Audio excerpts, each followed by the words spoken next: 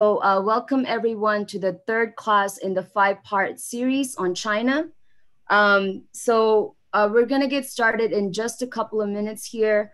Um, so for those of you who've already uh, tuned into live stream, please share the live stream onto your own uh, Facebook page or Twitter and all your social media so more people can tune in. You can also start a watch party at this time. Uh, so your friends, your uh, everyone in your network can also tune into the class. Um, and while we're waiting, you can also drop um, in the chat uh, the name of the city or the town that you're watching from, uh, so we can read those out, me and Candice. Um, and if you attended um, yesterday's uh, car caravan protest, the cancel the rent protest, or you helped organize them, please post in the chat about those as well. Uh, we want to know how they went in your city or your town. Uh, we want to know about your experience. Um, and finally, um, if you're participating in, in or have helped organize protests around police brutality, or if you're doing solidarity actions in your city or town um, in solidarity with the protesters in Minneapolis and Atlanta who are demanding uh, justice for George Floyd um, and all the victims of um, you know, racist police terror, we want to hear about your experiences. Yeah, so comrades in San Diego had a um, cancel the rent car caravan and over 100 people showed up. That's amazing. And then they also participated in the La Mesa uprising afterwards with thousands of protesters. Uh, in Seattle, there was also a caravan of modest size, but it was well received as they drove through working class neighborhoods and then they joined a mass protest for demanding justice for George Floyd.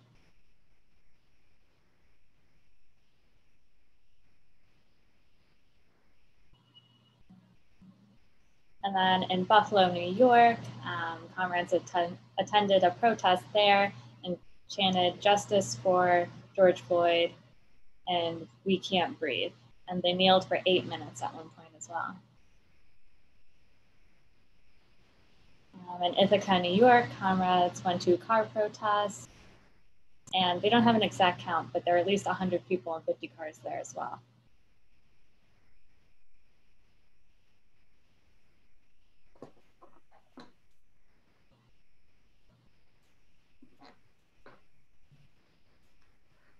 So I think we can go ahead and get started at this time.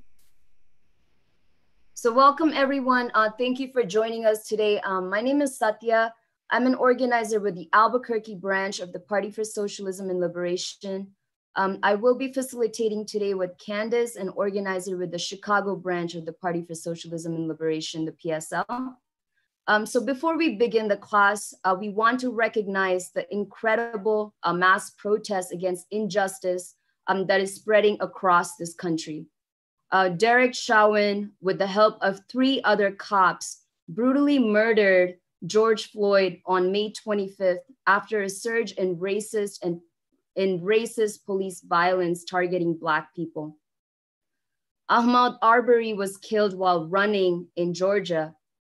Breonna Taylor was killed in her home in Kentucky, and Dreasjon Sean Reed was killed in Indianapolis by police who then cracked jokes about his death. While the media is doing its best to characterize protesters as violent and looting as a central issue, we know the opposite is true. The police are the violent institution, and the protests are a justified reaction to racism and brutality. The understandable rage and militant action that is continuing in cities throughout the United States is a rebellion against continual racist police brutality for which no one is held accountable. This is a rebellion not only against racist police killings, it is a rebellion against poverty, against mass unemployment. The protesters are being demonized as outside agitators in all 50 states, as if angry, fed up young people had to travel to other cities to protest rather than engaging in resistance in the place they actually live. This allegation, no matter how many times it is repeated in the mass media, is a lie. The protesters are demonized too as looters. Yes, poor people are angry. They are fed up with the status quo. But let's be real, this country has already been looted by the billionaires and bankers, and it is they who are receiving nearly 5 trillion in bailout monies from the federal government and Federal Reserve Bank, while the masses of working people are given crumbs. We salute the huge numbers of people who have come out to protest in every state of this country. We in the PSL will continue to be in the streets demanding justice for all victims of police brutality, demanding the full prosecution of killer cops and an end to racist police terror. We will also keep, keep up our nationwide campaign to cancel the rents until the end of the pandemic crisis. We are proud that over 75 cities took part in yesterday's car caravan protests demanding cancellation of rents and justice for George Floyd.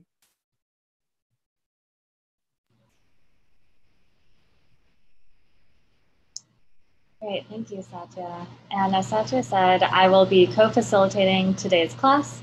Uh, just so everyone is aware, this class is being live streamed. So if folks are watching on Facebook or Twitter, we ask that you take a moment to share this live stream and invite others to tune in.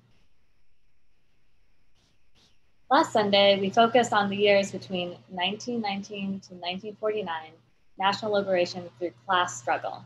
The recording of the first and second classes can be viewed on liberationschool.org for those of you who missed it. Today's class, taught by members of the Party for Socialism and Liberation, will focus on the period of 1949 to 1979, the twin tasks of the revolution. Today is the third class in a five-part series that examines the construction of modern-day China in the context of global imperialism starting from the very first Opium War between China and Britain in the early 1800s. We also dive into China's century-long national liberation struggle and the construction of socialism. The purpose of the class is to provide the necessary context for understanding modern China today, faced with the constant aggression from US imperialism. The Party for Socialism and Liberation is organizing this class uh, series along with the Qiao Collective as part of our response to the outrageous demonization campaign against China that continues to grow amidst this crisis. We invite all those watching to find out more about both organizations and to get involved in the struggle today. Visit www.qiaocollective.com. Chow is spelled Q I A O. For more information about the Qiao Collective and www.pslweb.org to learn about the Party for Socialism and Liberation. The last two classes in this series will be, um, so the fourth class in the series will be on June 7th, and the topic will be Is China Capitalist? on China's socialist market economy and quest towards socialism taught by the Qiao Collective. And then on June 14th, that will be the final class in the series, and that will cover China and the Global South, internationalism and multilateralism amidst US aggression taught by the Qiao Collective. Um, so today, Ken Hammond and Sheila Hsiao will be our presenters. Ken Hammond is a PSL member in Las Cruces, New Mexico. He is a professor of East Asian and Global History at New Mexico State University and former director of the Confucius Institute. Sheila Hsiao is a member of the PSL Central Committee. She also works in public higher education as an institutional researcher.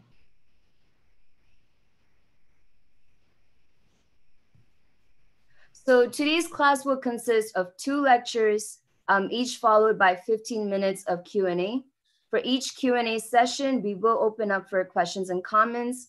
Uh, we are keeping track of unanswered questions and we'll be posting answers to liberationschool.org. Um, webinar participants, please write your questions into the chat. We also have comrades monitoring um, the Facebook chat. Uh, so, so, please post your questions on uh, the Facebook chat as well. Candice and I will present the questions to the presenters uh, to respond during the question and answer time. Today, Ken Hammond will be presenting the first lecture on establishing the PRC, building socialism in the 1950s, the Great Leap Forward, and the Sino-Soviet split. Welcome, Ken. Good to be here again. Hi, comrades. Uh, glad to be carrying our, our class forward. Uh, obviously, these are turbulent times and times in which uh, we have both domestic and international uh, concerns as a, as a revolutionary party. And I think that uh, our, our efforts to try to uh, make ourselves familiar with, with China's history, China's revolutionary path, become even more crucial in, in moments like these. So uh, appreciate those of you who've been with us in the previous weeks and we'll make our way forward here uh, today. If we can bring up the slides, that would be good. Okay, and go to that first one. Well, the next one. There we go. This is what uh, in this first session today um, I want to try and get through. Just talk a little bit about uh, the establishment of the People's Republic of China, uh, the process of building socialism through the 1950s. And then one of the more um, uh, often uh, uh, controversial, if you will, moments in that process, especially in, in, the accounts that are usually fed to us in the West, the Great Leap Forward. And then something that emerges out of this whole period is the question of the relationship between China and the Soviet Union. Uh, and so uh, that, uh, that reaches a rather dramatic uh, turning point in 1959, 1960 with the Sino Soviet split. So we'll try to work our way through uh, that material here uh, in the first part today. And of course, this may well generate some interesting questions. So we'll, we'll deal with those in the Q&A. All right. if we can have the next slide, please. so this is where we wound up last time we had followed the course of the revolution, beginning with the founding of the uh, Chinese Communist Party in Shanghai back in 19, 1921, uh, and uh, uh, through the, the, the, long and somewhat circuitous route of revolutionary struggle, uh, uh, fighting both against the, the reactionary nationalists and against the Japanese invaders from the late 1930s till 1945, and then finally after the Civil War the culmination uh, of the revolution with the proclamation by uh, Chairman Mao here in the picture um, on October 1st, 1949, of the founding uh, of the People's Republic. So if we can have the next slide. Getting the People's Republic started uh, was a, a, a, monstrous task, a huge task. Uh, China had, of course, been through 30 years of, uh, war and trauma, uh, the Japanese invasion especially, but the Civil War as well. Uh, there was a lot of uh, damage to just people, but to infrastructure, industry, things like that uh, situations around the country were had, had been quite tumultuous for a long time. So when liberation takes place in 1949 and as the new regime is being established, um, the party and uh, the army uh, and the new government and the people faced uh, very severe challenges. And the way that they wanted to uh, move forward in that moment was to create a, a people's government that was going to um, uh, establish new institutions, stabilize the situation in the country, and then begin the process of revolutionary transformation and the construction of socialism. Excuse me. And at the heart of this process was what we call people's democracy. Um, the idea that uh, the Chinese people should be the masters of their new society, should be the, the driving force in history and in the construction of the new China that there was a need to establish state institutions uh, and there was a need for political uh, leadership and guidance in that process. And one concrete form that that took initially was the convening of what's called the Chinese People's Political Consultative Conference, which is kind of a mouthful to say, but it's a very important uh, institution and it still meets. They just met uh, about a week ago again. Um, this is a broad coalition uh, uh of uh, political parties uh, across the political spectrum and non party people as well. Uh, that meets in conjunction with, usually just prior to meetings of the National People's Congress, in order to debate and discuss the uh, powerful issues of the day. The, the CPPCC was involved in the process of formulating and has been involved in the process of revising the Constitution of the People's Republic of China. It plays an advisory role. It makes recommendations about legislation to the National People's Congress and it is it's it's a primary mechanism for involving uh, uh, the widest possible uh, uh spectrum of people in political um, uh, discussion and policy formulation within uh, within the new China. Initially, simply coming out of the chaos of, of revolution and civil war, one of the first tasks faced by the revolution was stabilization. And this was done through establishing control over the, the geographic territory of China, uh, which was divided up into a set of military regions. Uh, it also involved uh, uh particular efforts to address uh, uh, uh, concerns in places like Shanghai, which of course was the most uh, industrially developed uh, center and city in China, and one where the struggles of the party had, had, of course, gone on over much of the previous 30 years.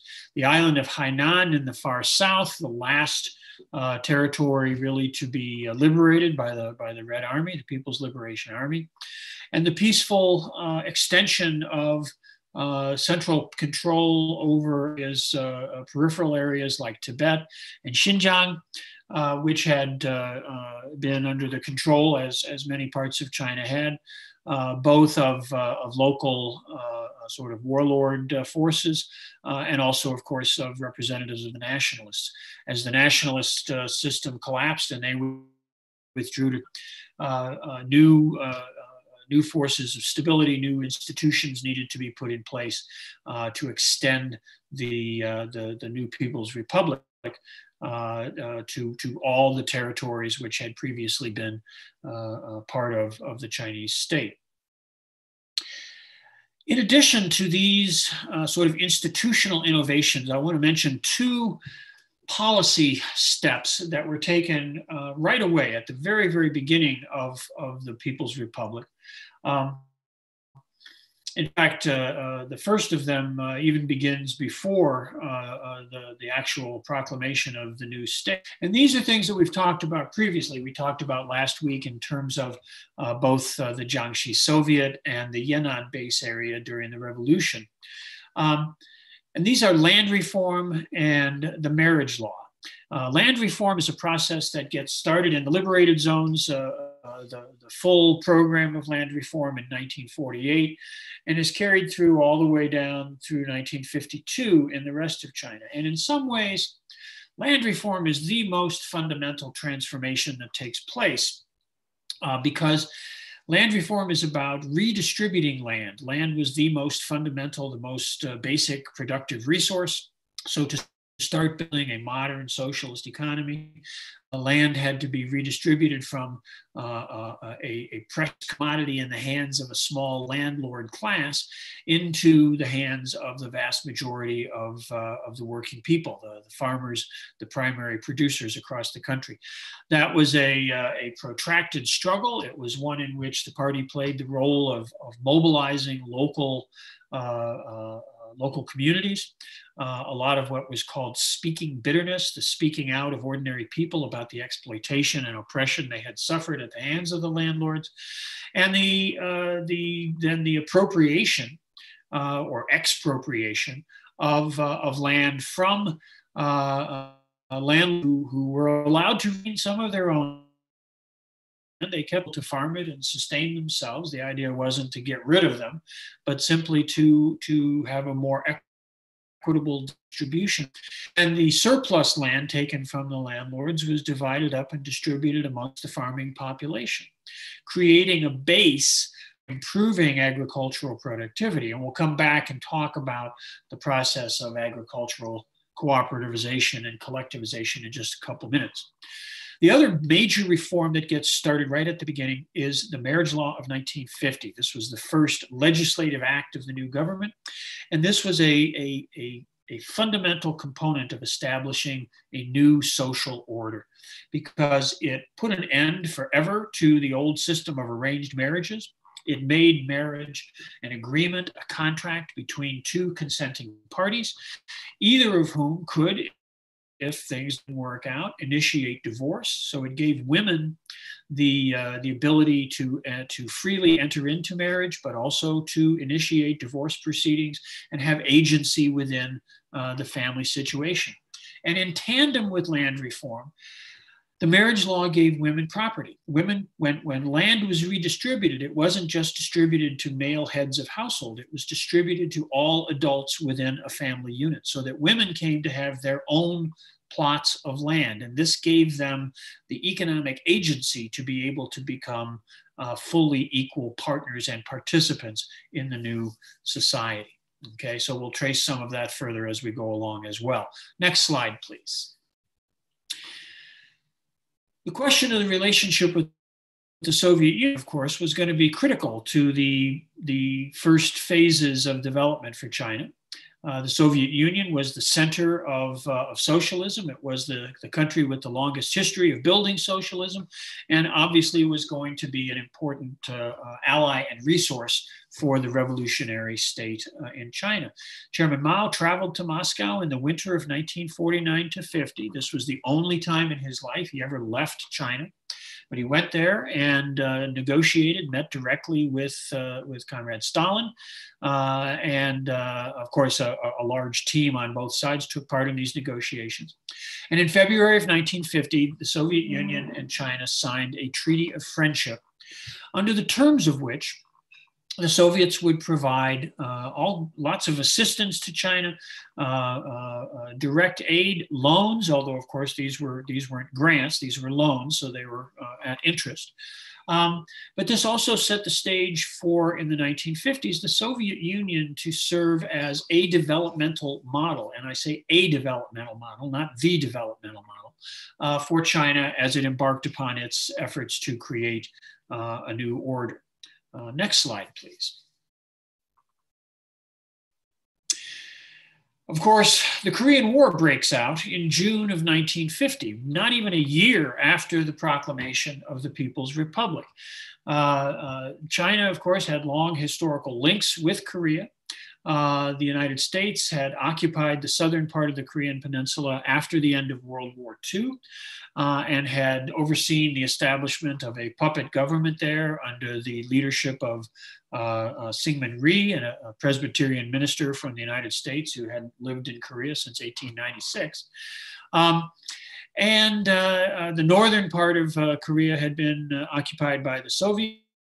Uh, who helped the, the local uh, anti-Japanese resistance fighters led by Kim Il-sung establish a, a revolutionary socialist state uh, in the north. Uh, tensions between the North and the South, of course, uh, were, were intense. And uh, uh, in uh, the summer of 1950, both sides anticipated that there might be further conflict. and finally, in June, forces from the Democratic Republic in the North uh, moved preemptively to try to thwart attacks from the southern uh, uh, sector against against people in the north. Um, the United States, of course, was the real actor here. It was American imperialism trying to consolidate its position in the Western Pacific and in East Asia. Um, that that then sent massive forces into Korea. Uh, they pushed uh, the, the uh, uh forces of the North uh, all the way up basically to the border with China. Now, China, of course, was trying to trying to get its new government going, trying to start its its process of socialist development. Was hardly interested in going to war, but uh, the threat of American imperialism and the historic bonds of friendship with the Korean people meant that the Chinese, at great sacrifice to themselves, in November of 1950, sent 600,000 volunteers across the border into Korea. Uh, and they managed to uh, help the, uh, the Korean people in, in resisting uh, the Americans and pushed the line of, uh, of, of combat back down to the central part of the peninsula. That war, of course, uh, halts or is suspended in 1953. and the situation on the Korean Peninsula remains one of division and, uh, and uh, instability uh, ever since. Uh, uh, whole set of issues that, that we can address uh, at some other time. but the Korean War, what's important for our narrative is that the Korean War is a, is a huge sacrifice. It diverts resources uh, not just material resources, of course, but human resources. Many Chinese fighters are killed, including one of Chairman Mao's sons uh, in the fighting in uh, Korea. Um, and this is right at the time when the Chinese were, were struggling so hard to start the process of building their own uh, socialist state. Okay, next slide, please.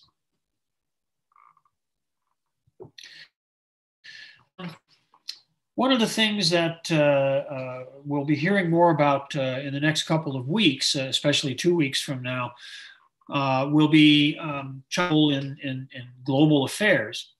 And one thing that, uh, that we want to emphasize and make clear here is how consistent China has been uh, in its attitude towards international relations. The, the, the idea somehow that China is an expansionist, sort of neo imperialist or neo colonialist we hear this bantered about by, by bourgeois politicians and media um, is, is, is simply not uh, uh, grounded in, in, in, truth or fact.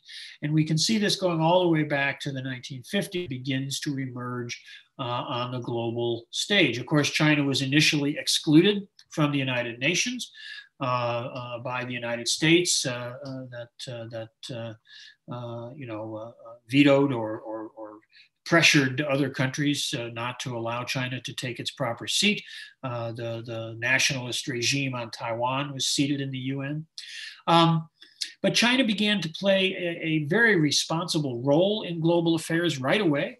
Uh, uh, uh Zhou Enlai, uh, who had, you know, been part of the founding of the party in France back in 1921 and had been basically uh, Chairman Mao's right hand man, was prime minister and also foreign minister. Um, China took part in the Geneva peace conferences uh, to end the war, the French war in, uh, in Vietnam and Indochina, uh, and, and basically uh, became uh, the, the, the, face of China on the international stage. Very famously, when the American Secretary of State met Zhou Enlai in Geneva, he refused to shake Zhou Enlai's hand. Uh, this became uh, symbolic of the hostility uh, that the United States directed towards the new China.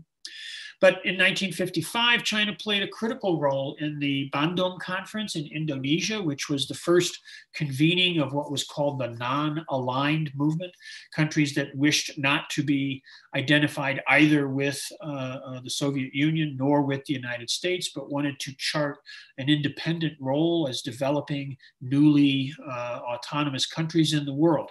And China lent its support to countries from Indonesia to Egypt to, uh, to India, uh, the, the, the post colonial societies that were emerging on the global stage at that point.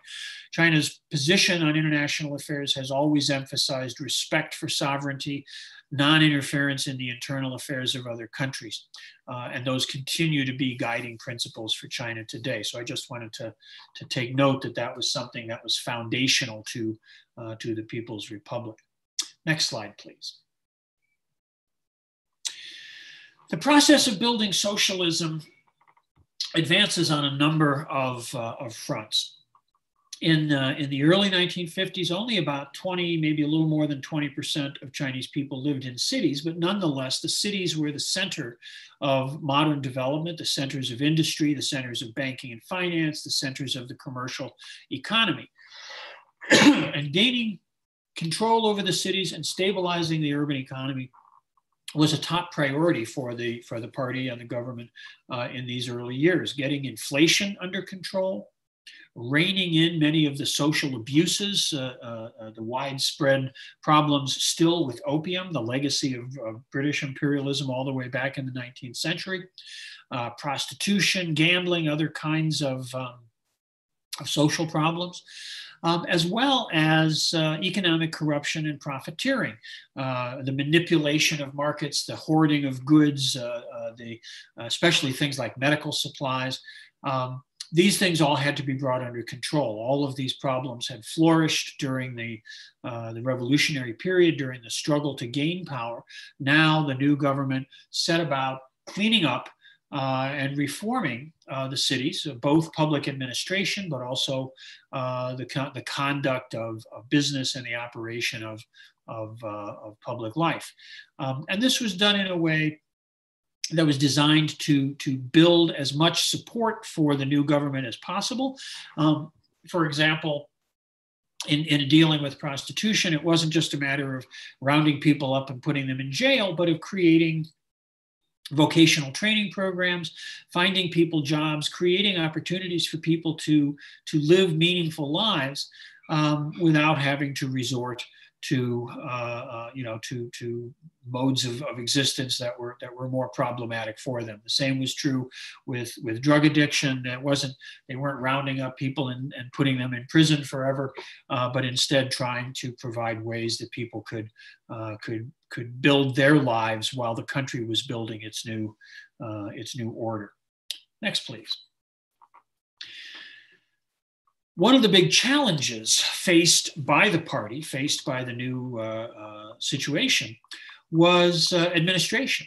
Um, in 1949, when the, when the Chinese Communist Party uh, comes to power, there were perhaps a million members, most of them drawn from rural China. Many were illiterate, and most of them had very little administrative experience. They were revolutionary fighters who had uh, who had uh, uh, you know built the revolution, who had managed and administered uh, the territories controlled by the party. Uh, but in terms of now suddenly having the responsibility for managing and administering a country the size of China that had 450 million people, these were huge challenges. So the party needed to grow. The party needed to expand its ranks, and it did this very, very rapidly. By 1956, there were already over 10 million members of the Chinese Communist Party. Many people were brought into the party because they had administrative experience, financial experience, business experience that was needed to help manage the affairs of the economy and the government uh, in, this, uh, in this transitional period. But that brought with it um, certain challenges, certain problems. Many people uh, joined the party, not so much necessarily out of sincere, um, sincere uh, uh, ideological motivation or sincere commitment to the vision of, of building the socialist China, but um, uh, sort of in a in what we might think of as a careerist way or an opportunist way, uh, seeing the new government, the new uh, uh growth of the party as a way uh, to position themselves advantageously. Not that not that everyone who joined the party was was cynical or, or careerist at all. Many many many people came into the party who were sincerely devoted to the creation of the new China, but this did yield certain trends within the party towards bureaucratization, towards people who took their positions within the party as positions of power, as positions of influence, and um, perhaps were not as uh, as deeply committed to immersing themselves in the needs and interests of the people uh, as they might have been. This was just a um, a tension, a contradiction within the party uh, that, that began to be of concern, began to be uh, uh, manifesting itself uh, in the course of the 1950s. Next slide, please. At the heart of the process of building socialism in China is the question of agricultural collectivization. And the reason for this is bound up with, with what Marx calls the process of, of primitive or primary accumulation. To build a modern industrial socialist economy, there had to be resources for investment, what in a capitalist society we would just call capital. Um, accumulated value, accumulated wealth, which would be available to invest in the building of factories and railroads and port facilities and highways and all the things, buying the machinery that would be necessary to build uh, a, a, a, a modern industrial economy. Well, where were you going to get those resources? How were you going to generate surplus, surplus value uh, that could be directed towards this kind of inve- uh, investment? The only, the, the primary productive resource was the land, and the primary economic activity was farming, was agricultural production. So land reform broke up the old system under which a handful of landlords that sat on top of society extracted value from the labor of the masses, and it put that resource into the hands of the masses. And then through the 50s, the party guided a process first of cooperativization and then of collectivization of agriculture to yield greater and greater enhancements of productivity. Basically, when people worked together, when they pooled their assets and their resources, when they made land, they, they converted land from tiny little strips of individual farmers into larger fields that could be uh, uh, uh sown and tilled and harvested collectively. That yielded great benefits, great expansions in agricultural productivity. But this was a, a careful and cautious process. It was a very bottom up process. It started in the first couple of years with what were called mutual aid teams, where within a particular village, a group of households might get together and help each other out. That yielded better harvests, that yielded better income for those households. So then they moved to what were called agricultural producers cooperatives. And that went on in a couple of phases, a lower level and a higher level, where the number of people involved got bigger it might expand to include a whole village or even a cluster of villages who would share their resources. If one household had a, had a donkey and another household had an ox and one household had a particularly good set of tools or something, those could be shared and, and, and the, the benefits of, of those assets would be, uh, would be cooperatively uh, uh, productive for, for all the participants in that, in that movement. And finally, the, the highest stage of this begins to emerge uh, in 1957 and 1958 with the first establishment of people's communes. And this becomes a real critical moment. The communes grew to be pretty good size. Some encompassed not just not just multiple villages, multiple clusters of villages. What what today would be, or what in, in, in, America we would think of of units almost on the size of like a county. Think of a, of a rural county in Kansas or or uh, or South Dakota. Um, a commune came to be the, the largest unit of collective a- agricultural production. Okay. And eventually there were about 75,000 communes spread across China that were um, trying to, uh, to move forward with, with greater and greater levels of economies of scale and enhanced agricultural productivity. The poster here, the, the, the saying at the bottom there, this is a quote from Chairman Mao. It just says, Renmin Gong Hao, people's communes are good. This was a line that the chairman said during an inspection visit uh, in the fall of 1957 that uh, got, got picked up and, and, uh, and triggered a wave of enthusiasm uh, that led to the creation of many, many more communes in the course of the following year, 1958. If we can have the next slide. That takes us to what comes to be known as the Great Leap Forward. The Great Leap Forward is the ultimate expression, in a sense, of one vision of how to develop socialism in China, how to create the new China through the mobilization of mass enthusiasm, through the mobilization of the masses. This is one line uh, of what comes to be a two line struggle, really, a conflict between two developmental perspectives. This is the line that we associate with Chairman Mao and the people who agreed with him.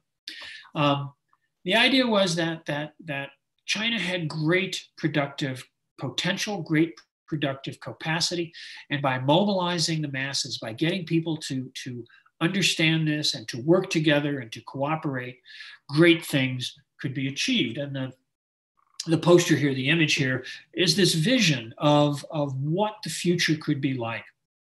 I don't want to go into too much detail of what's there, but it's got everything from, from fields of grain to, uh, to uh, brick kilns to little uh, factories, fish ponds, uh, cooperative uh, uh, kitchens and, and, and dining areas, all this kind of stuff. It was a vision of a society in which um, the commune would be the basic social unit, and within the commune, 100,000 people would share in the tasks of production and would share in the fruits of their communal labor. Okay. The Great Leap Forward runs into trouble. Um, and it ran into trouble uh, on, a, on, a, on a couple of bases. Um, but primarily, the problem was that um, many of those people who had come into the party in the course of the 1950s um, were, uh, as I said, uh, perhaps a little careerist, a little opportunist in their consciousness. And when they understood the, the idea of the mass campaign and, and the goals, the ambitious goals of ramping up production and achieving new higher levels, um, there was a little bit of a tendency to fudge things, to exaggerate reports of productivity. Um, not to not to you know say oh well we had we we we got 10,000 bushels of grain I'm going to say we got 20,000 but to say, well, we got 10,000 bushels of grain, I'm going to say we got 10,500. Doesn't that sound a little better? But unfortunately, as that process went up the hierarchy, a little bit of padding, a little bit of exaggeration, you wound up with figures of production that were unrealistic. And that led to problems of too much grain being procured from the countryside, not enough being left over to feed the local people and to have grain for the next year's uh, planting, and you had food shortages and widespread hunger. And it's simply a, a reality that uh, a lot of people died. Uh, uh, a few million people died as a result of mismanagement during this period. The Great Leap Forward is a, is a very problematic period not caused by you know some insane vision uh, or some uh, homicidal fantasy of, uh, of Chairman Mao and the leadership, but caused by bureaucratic distortion of the tasks of organization and management of production. And this is a uh, uh, this is a, a, very very challenging episode uh, that uh, that of course is routinely demonized in in, in Western bourgeois media and, and academia. Uh, but it's a it's a very uh, problematic moment um, that that you know we need to understand in, in our own perspective.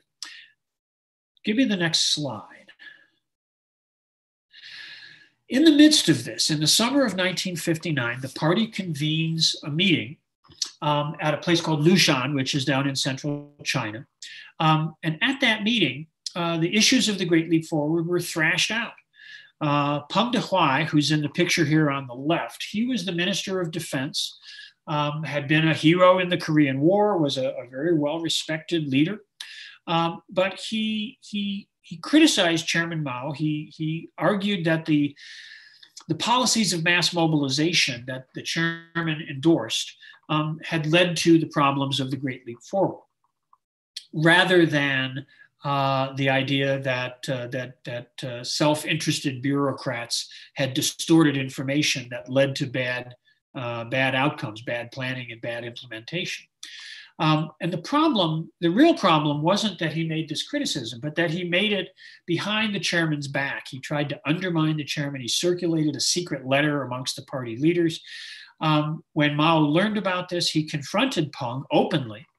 And the result of this was two outcomes. One was that Peng Dehuai resigned as Minister of Defense he was reassigned to be in charge of industrial development in the Southwest, in, in, in Sichuan, Yunnan, places like that. But the chairman accepted some of these criticisms. He acknowledged that, um, you know, maybe oversight from the top of the sort of middle levels of the party had not been as rigorous as it should have been.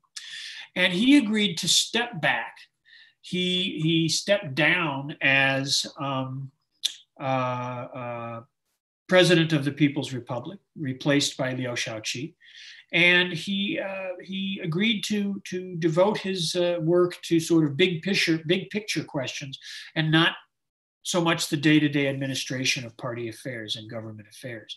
So this is a very important moment where the chairman steps back from direct uh, oversight of, uh, of policy and, and daily administration. Next slide, last slide for my part today. Okay, in this moment, when China's facing very, very difficult times, these tensions that had been there already between Mao and Stalin, even with the 1950 Treaty of Friendship. The Soviets had provided aid in the 50s, but there, come, there came to be fundamental disagreements about the proper model of development that China should follow. And this reflected the divisions within China itself, what we call the struggle between two lines. One of which I've, I've articulated this vision of mass mobilization, of the enthusiasm of the people, of building from the bottom up a new socialist economy. But that was in contrast to the Soviet model and to a view that was shared by, by many comrades in China itself, within the Chinese party, people like Liu Shaoqi and Deng Xiaoping, which was a more top down, rely on the experts, rely upon the leadership of the party, um, and have the masses sort of be um, managed and guided and directed, but not be the source, not be the driving force of development. Okay. These different developmental models, both, I mean, everybody on, on both sides of the struggle, they were committed to building socialism in China, but there were fundamental differences of perspective on how best to go about that. The Soviet leadership, even after the death of Stalin, even under Khrushchev, came increasingly to see Chairman Mao and the mobilization, uh, uh, mass mobilization uh, uh orientation as what they called adventurist, um, not, uh, uh, not the proper way to go about developing China. And so in August of 59, right when the Lushan plenum was going on, right when the party was trying to come to grips with the challenges of the Great Leap Forward, the Soviets pulled out. They cut off all their aid. They began to call in the loans that they had extended. They put extra pressure on China to try to force a change uh, in direction. Okay. So by the time we're up to 1960, the beginning of the 1960s, China has had a decade of development. They've achieved great things. There's no question that, that industrial development is getting started based upon agricultural cooperativization and collectivization. Material standards of living have risen dramatically. Uh, uh, uh, you know, uh, life expectancy, uh, infant mortality, all of these indicators have improved dramatically. Even the problems of the Great Leap uh, were were not to minimize them, not to discount them, but they were they were problems that that needed to be managed, needed to be corrected, needed to be overcome. But there was still uh, so much that had been achieved and so much that had been gained, uh, and uh, uh, we we move into the next phase. We move into the 1960s, not on the basis of a China that was somehow um, struggling just to hang on, but but with a very solid base of development already in place from this first decade. Okay, I'll be happy to uh, move into the Q&A for this part, and then we'll hear from Comrade Sheila about uh, further developments on down the line. Okay.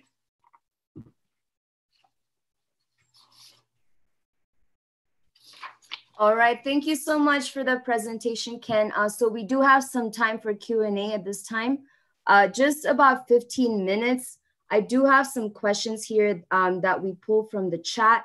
Um, and uh, both Sheila and Ken, feel free to jump in however you would like. I'll, I'll just start with about two questions. Is that okay? Sure.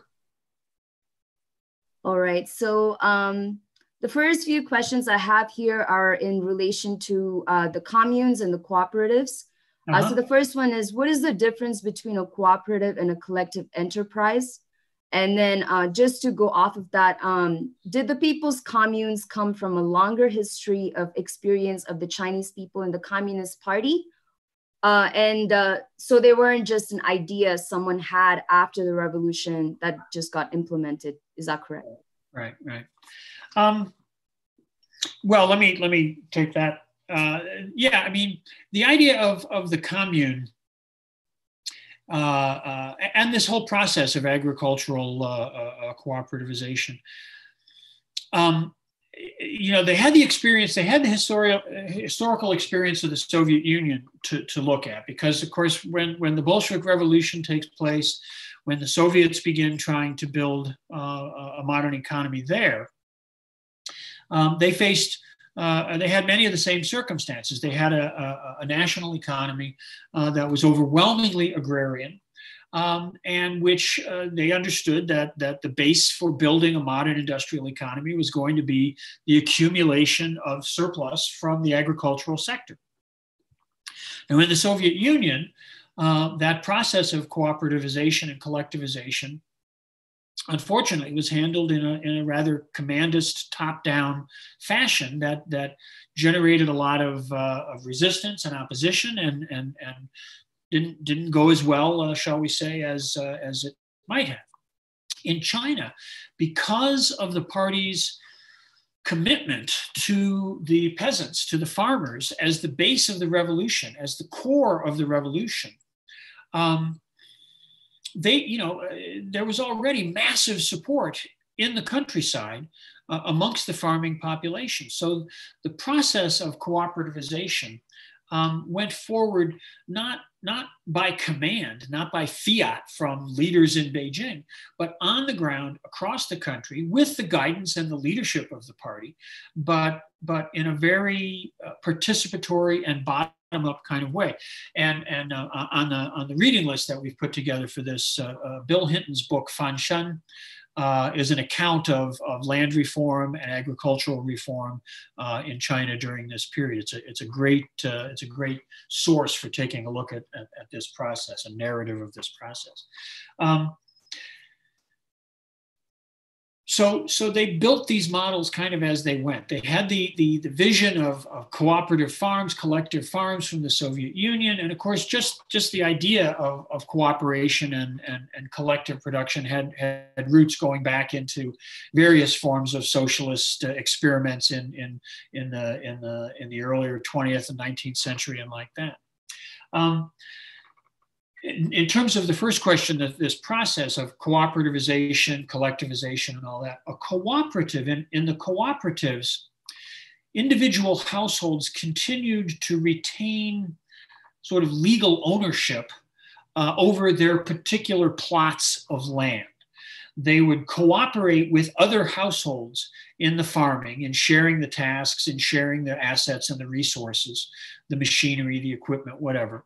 But legally, these were individual households working together. Collectivization involved the, the surrender of the formal title to the land to the collective. Uh, and, and then as that scaled up, the collectives uh, did the same thing. They pooled land uh, in the communes. Uh, and some of this was in a sense, you can almost think of it as a, as a form of accounting to keep track of who was contributing. Remember that, that the fundamental principle of socialism is from each according to their ability, to each according to their work, according to their labor.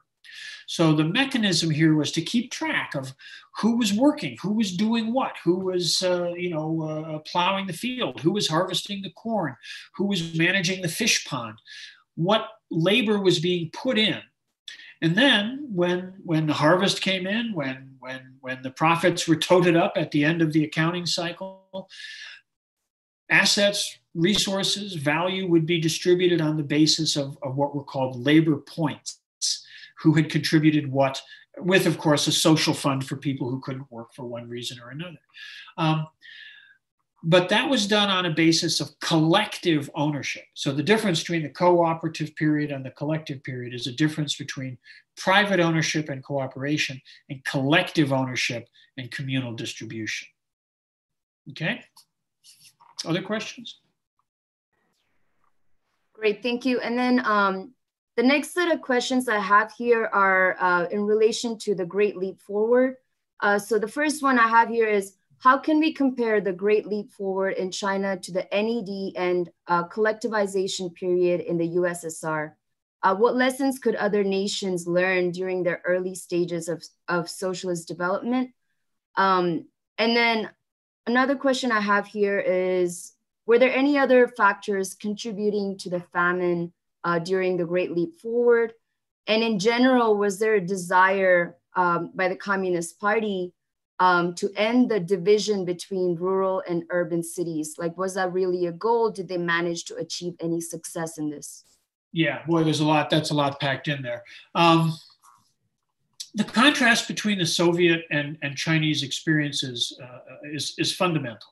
Uh, and I, I, just talked about that a little bit in terms of, of the process of, of uh, collectivization. Um, I think I think that in dealing with the Great Leap, um, I mean, and, and, first of all, just on just on a very simple factual basis, there were also additional factors. For one thing, um, weather. Uh, uh, uh, the 50s was a period of particularly good weather in China. They had a, a, the harvests that increased from 52 to 58. Uh, every year there were there were greater and greater yields, uh, higher and higher levels of grain production. Um, uh, that was also during a period where, where the weather was pretty good. Um, the winter of 1958 to 59 was bad. Uh, bad in terms of rain, bad in terms of, uh, of temperatures, uh, and a fair bit of grain was lost because of that um, as well. So, so yeah, there were multiple factors. Not it wasn't just bureaucratic mismanagement, but it was also there were also factors of um, of, uh, of uh, weather. And of course, the withdrawal of Soviet assistance in the summer of 59 meant that the process of recovering from the shortfalls of the winter of 58 to 59 was was undermined was uh, uh, you know that that made things worse and it took longer to get things back on track uh, after uh, after the Soviets withdrew. So yeah, there there were multiple factors, but I I just think that that as as historical materialists and and and, and clear-eyed comrades, we do have to acknowledge that that, that mistakes were made, right?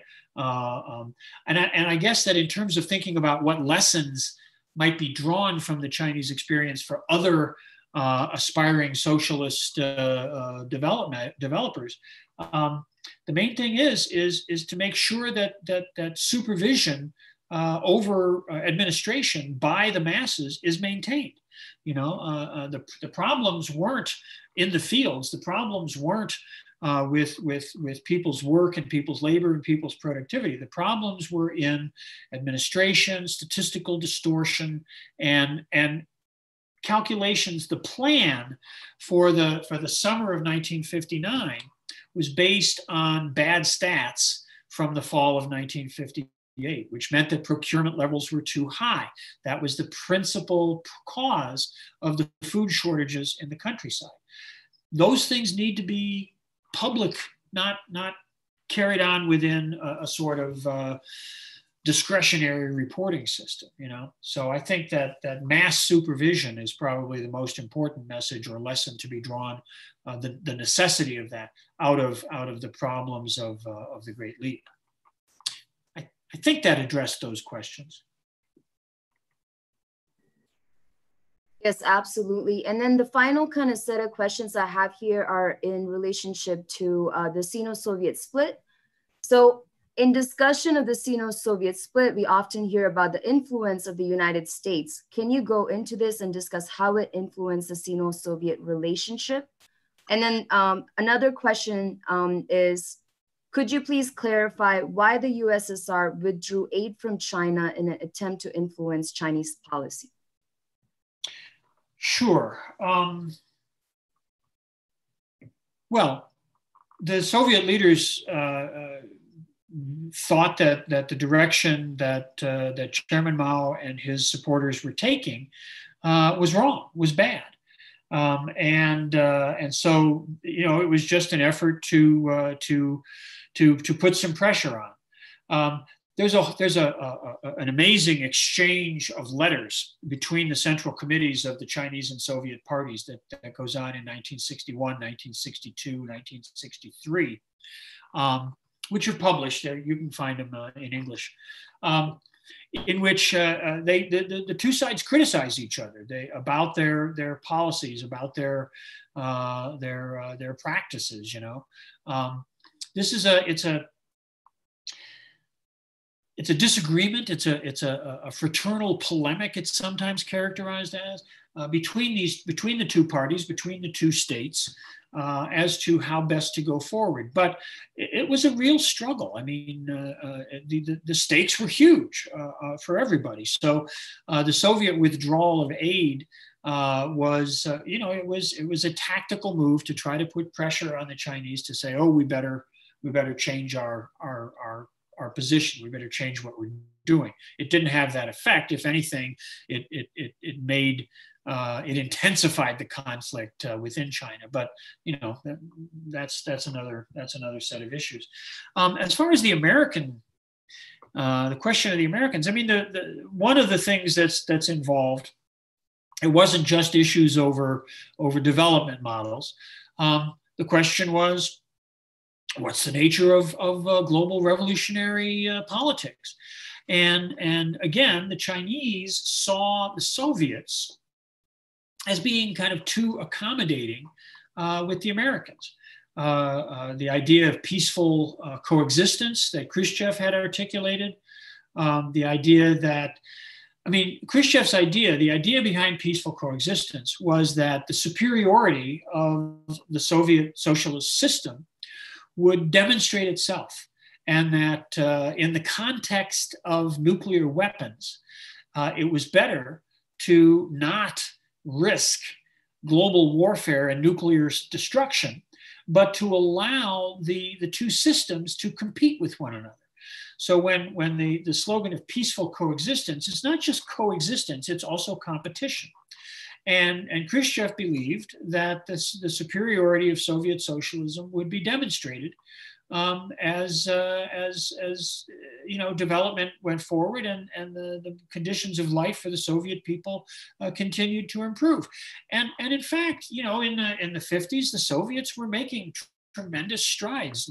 Material standards were rising there as well.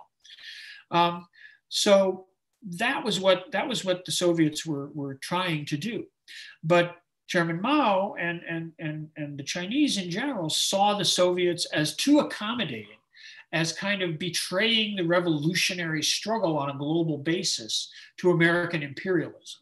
Okay.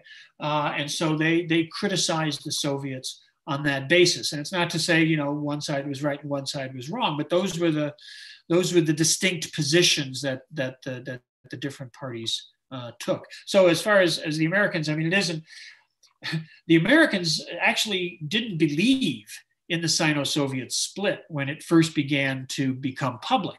They thought that this was some sort of a ploy that the, that the commies were carrying out to deceive uh, American policymakers. They had so little understanding of the realities of Chinese history and of Russian history and all that, that uh, for a while, 59, 60, 61, they didn't even take it seriously uh, it took a while for, for policy analysts in, in, in, even in like the CIA to, to realize that this really was a substantial difference of opinion that was going to have serious policy consequences for these two countries. So it's not like the Americans were being clever and manipulating this, but it was rather Soviet attitudes towards the Americans that came in for criticism from the Chinese. Okay, any more questions, of course, you can you can uh, you can put those in by chat. You can put them on the on the uh, uh, Facebook. Uh, we'll try to uh, to respond to those and aggregate both questions and responses and make those available uh, going forward. But I'll turn it over to Comrade Sheila for the next part. You can go ahead, Sheila. Yeah, like Ken said, uh, we will post uh, the responses to the unanswered questions on uh, liberationschool.org, so you can check those out over there. Thank you, Ken. Great, thank you, Ken. Um, now, Sheila will be presenting the second lecture on the socialist education movement, the Great Proletarian Cultural Revolution, the Ninth Party Congress, the passing of an era, 1976, and uh, Deng Xiaoping. So, Sheila, uh, the floor is yours. Great. Thank you so much. And thank you for um, your part, Ken. That was very, very informative. I'm sure there will be a lot of questions for the second half. Can we move to the next slide? Okay, so now, you know, we've heard a little bit about how China begins to tackle the question of development after revolution, right? We learned about the gains and also the challenges of the Great Leap Forward. And while, you know, there were many failures, there were also many, many gains that are often ignored by the mainstream, um, at least in mainstream accounts of the Great Leap Forward, as Ken pointed out earlier. Um, the Great Leap Forward, you know, mobilized masses of people to carry out major infrastructural projects that really lay the basis for future industrial development. And much of the lessons learned from this period sharpen the debates around economic policy that lead up to the Cultural Revolution. So um, let's go on to the next slide. Okay, so here we have the socialist education movement, right? And this is sort of the precursor to the Cultural Revolution. So at this time, Mao had already stepped down as the head of state, um, and by him stepping down was really an, an acknowledgement of the issues that the party made in the prior years that we discussed, right?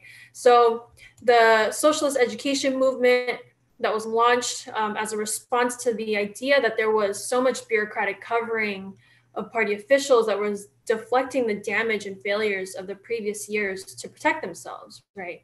Um, and many party cadre were instead blaming the failures on like intellectuals, reactionaries, instead of actually accepting responsibility for these errors.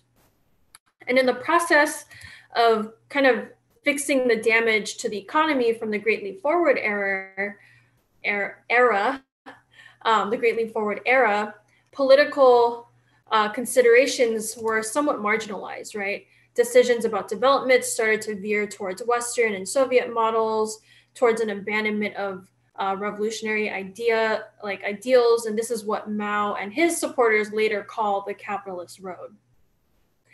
Um, again, right in the 50s, the process of development was really an era of mass mobilization, right? The difficulties in the Great Leap Forward, really resulted in a de-emphasis of this mass mobilization model and, a, and the emergence of a directive approach by these kind of middle level party cadre that we saw in the countryside.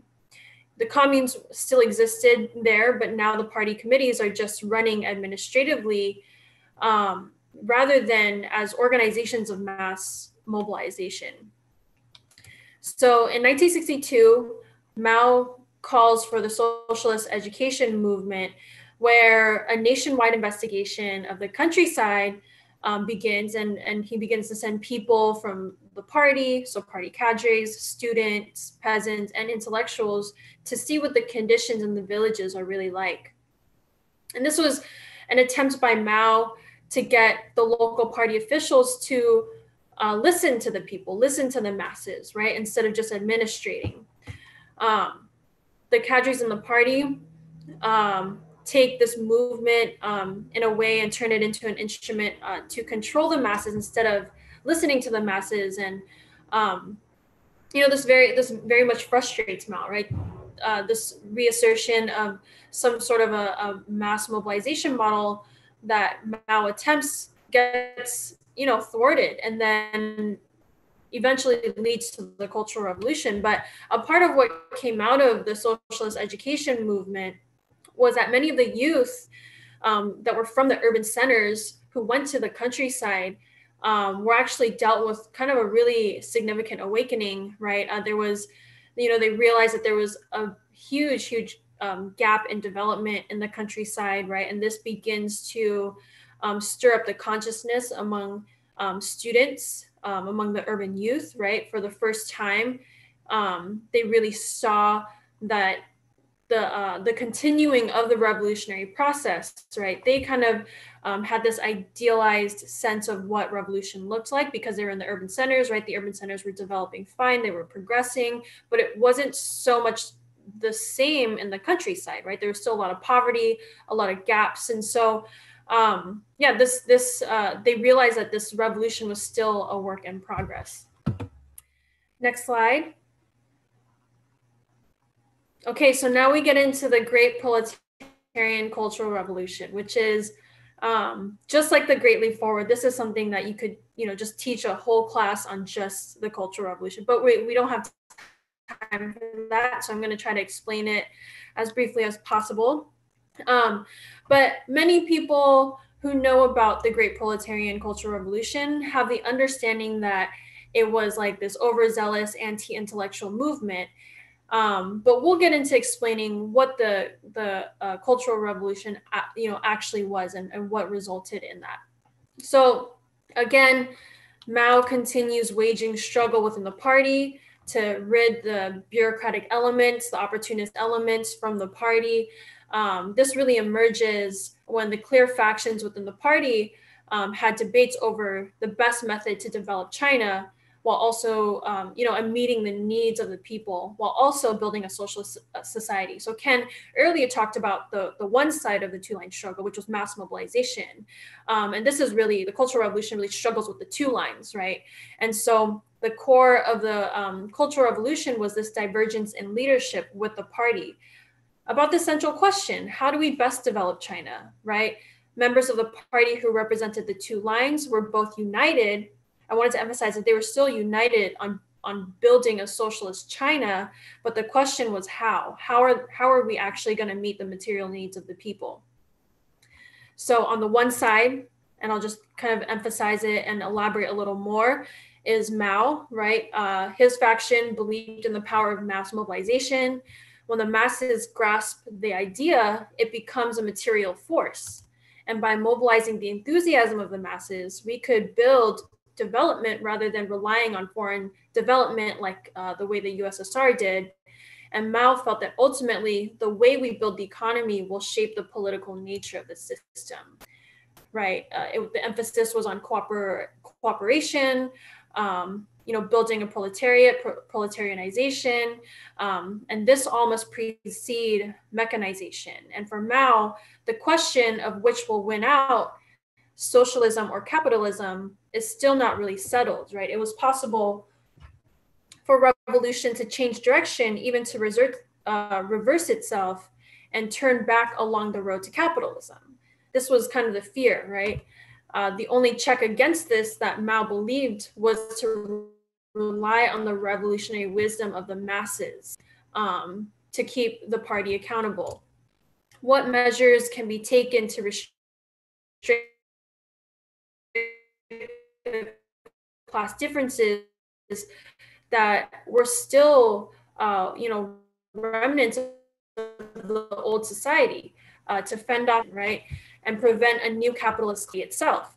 How do we develop economically and mend the contradictions that come with it? Mao and his faction correctly believed that China still had to undergo a sort of a cultural revolution the customs of the Chinese society, just like any um, society, those norms existed for thousands of years, right? So, what efforts are going to be taken to shatter those norms? So, Mao and his faction came to the conclusion that Chinese society still had these remnants of the same class order, class hierarchy, um, that ultimately was vulnerable to swinging back away from the revolution. So, the second part of the two line struggle, which is led by Liu Shaoqi, um, uh, the way to build the economy on this side of the faction is to rely on the expertise, leadership uh, to guide the process, to direct the masses.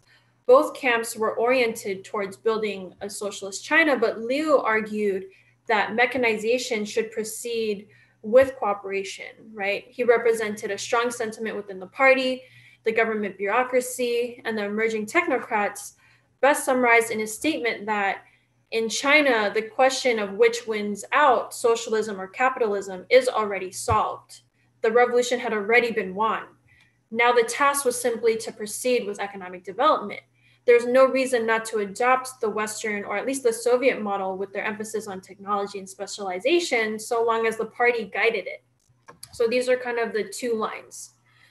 Next slide. So, how does the, the Cultural Revolution really begin, right? So, it, it begins with a debate over this play called Hai Rui Dismissed from Office. And this play was about a righteous official who spoke out against uh, the emperor. And, you know, people viewed this as an allegory of contemporary politics. And this really sparked a, a, an intense debate. So, in November of 1965, Yao Wenyuan, uh, who's one of the leaders of the Cultural Revolution, wrote an article criticizing the play for its political elements, right? Ultimately, that it was an allegory criticizing the left-wing faction of the party led by Mao. And the essay was the first, uh, you know, seen as the first shot against what was labeled as the capitalist roader within um, the Communist Party. And this led to broader debates about how do we relate to cultural things like um, such as such as this play, right? Do we glorify these imperialist officials? Do we want to use this veiled attack to undermine leadership of the party? It starts again with uh, a debate with this play, right? So the party bureaucracy tries everything it can um, at this time uh, from discussing contemporary politics, as we talked about earlier in the socialist education movement. But in a way, the discourse um, that emerged out of this was was really necessary in the eyes of Mao, right? It was necessary to recalibrate the revolutionary elements within the party, but constantly reconnecting with the people. The party should stay as an organ of the people's will and not have the people just be an instrument of the party. The Cultural Revolution is really a movement that calls upon the masses to criticize and supervise the work of the party. Um, it's a mass movement, right? The party needs to serve the people, it needs to be the instrument of the revolution, and the party needs to submit itself to popular review. Um, this is kind of the essence of Mao's basic intention of the Cultural Revolution. So in 1966, May of 1966, the formation of the Cultural Revolution groups, um, you know, came out of the Central Committee of the Communist Party, which really was the group that would give guidance to the Cultural Revolution. And then the May 16th circular was a document written to the Central Committee um, on the Great Proletarian Cultural Revolution. And this becomes a document uh, that criticizes the party and the leadership and would become the explanation for the Cultural Revolution, right? It, it criticizes the party and bourgeois elements and so forth.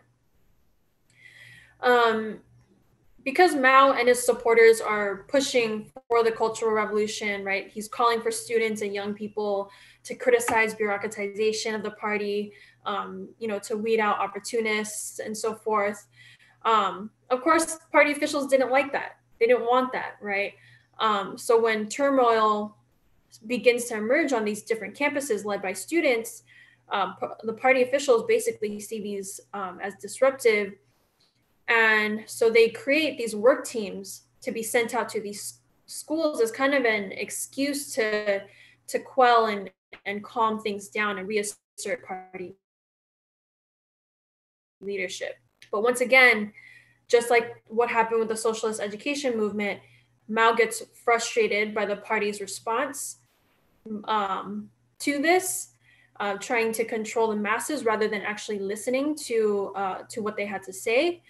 Um, Mao accused them of undermining the student movement, and this is when Mao puts up what is known as the Dazi Bao, which I'll explain a little bit later. But the work teams are, are basically the last effort of the cadre of the party to slow down or blunt the thrust of the Cultural Revolution.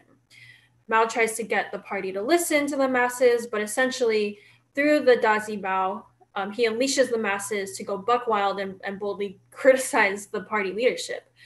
Um, and so, what what is the Dazi Bao? Right? It's basically it translates to um, big character pro- posters. They're handwritten posters that are publicly denouncing government officials, they become a tool of propaganda and political communication through the Cultural Revolution, um, throughout the Cultural Revolution. And Mao's poster, um, his Dazi Bao, basically says bombard the headquarters, right? Mao is at this point outright calling on the masses to bombard the headquarters. And this was, you know, him denouncing very boldly uh, what he called the capitalist roaders and the and the opportunist elements within the party, right? And when we talk about the Cultural Revolution, it can sort of be summarized by this, this quote, right? Marxism comprises many principles, but in the final analysis, they can be they can all be brought back to a single sentence. It is a right to rebel. And this is the first time in history where a political leader calls on his own people to rebel against their rulers. In fact, call against them to re- rebel against his own party, himself as a leader. Um, he's calling on the masses to rebel against their authorities, politicians, teachers, to boldly and directly purge um, reactionary remnants of, of, of, Chinese society. As Mao very famously says, right, a revolution is not a dinner party. Um, and so when we talk about the errors and excesses and instances of violence um, that come out of the Cultural Revolution, we should imagine just for a second what would happen if a cultural revolution happened in our society, right? Could we imagine what it would be like if Mike Pence or Nancy Pelosi or, or whatever US government official said, bombard the headquarters, right?